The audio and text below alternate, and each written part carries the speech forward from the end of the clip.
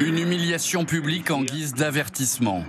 Quatre personnes accusées d'avoir mis en péril les règles anti-Covid forcées de défiler dans la ville. Menotté dans le dos, chaque suspect porte une pancarte avec son nom et sa photo. Une démonstration d'autorité supplémentaire alors que l'épidémie repart en Chine. À quelques dizaines de kilomètres au nord, les 13 millions d'habitants de Xi'an sont toujours confinés. Un peu plus de 200 cas déclarés ces 48 dernières heures et les autorités accélèrent le dépistage. Depuis le 21 décembre, nous avons testé plus de 6 millions de personnes et plusieurs cas cachés ont été découverts.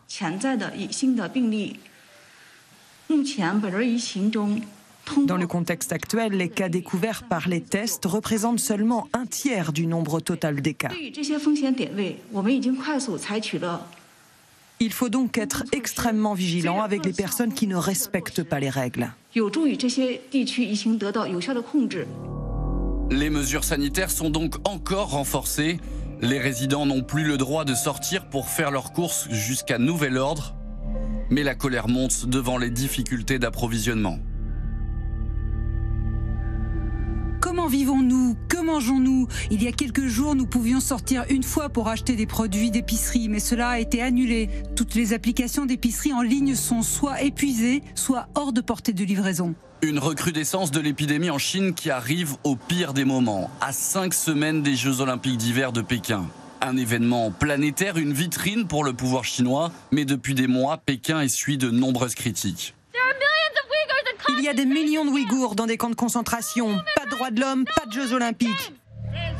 Partout dans le monde, associations de droits de l'homme et ONG réclament le boycott de ces JO pour protester contre le sort réservé aux Tibétains en Chine et surtout contre le génocide des Ouïghours.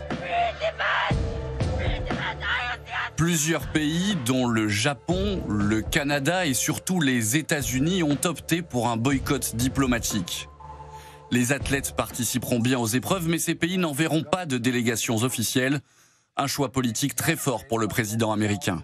Nous sommes à un tournant de notre histoire.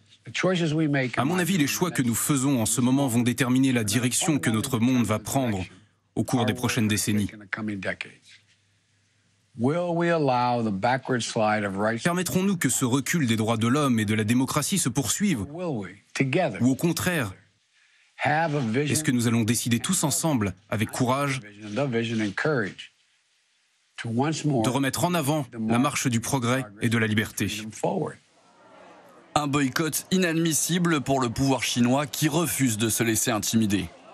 Nous exhortons à nouveau les États-Unis à pratiquer l'esprit olympique, à cesser de politiser le sport et à mettre un terme à toute parole et à tout acte qui interfère avec les Jeux olympiques d'hiver de Pékin.